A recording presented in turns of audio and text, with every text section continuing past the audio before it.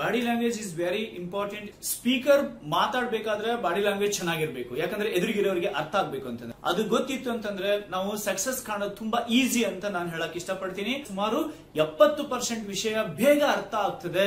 ಹಾಗಾಗಿ body language is very important so mind ಅಲ್ಲಿ image store ಆಗ್ತದೆ.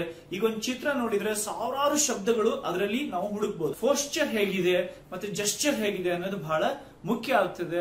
ಬಾಡಿ ಲ್ಯಾಂಗ್ವೇಜ್ ಅಲ್ಲಿ ಯಾವ್ದು ಬ್ಯಾಡ್ ಹ್ಯಾಬಿಟ್ಸ್ ಇದೆ ಗುಡ್ ಹ್ಯಾಬಿಟ್ಸ್ ಇದೆ ಅಂತ ನಾನು ಒನ್ ಬೈ ಒನ್ ಹೇಳ್ತಾ ಹೋಗ್ತೀನಿ. ಮತ್ತೆ ಕಾನ್ಸಂಟ್ರೇಟ್ ಮಾಡಬೇಕು ಎದುರಿಗಿರೋರು ಅಂತಂದ್ರೆ eye contact is very important ಹೆಚ್ಚು ಸಮಯ ಅಂತಂದ್ರೆ ಎಷ್ಟು? So for example seventy thirty ಅಂತಾನು ಮಾಡಬಹುದು. ಫೇಸ್ ರೀಡಿಂಗ್ ಬಗ್ಗೆ ಹೇಳ್ತೀನಿ. ಯಾವ ತರ ಫೇಸ್ ಇದ್ರೆ ಏನೇನ್ ಅವ್ರು ಯೋಚನೆ ಮಾಡ್ತಿರ್ತಾರೆ, ನೀವೆಲ್ಲ ನೋಡಿರ್ತೀರಿ.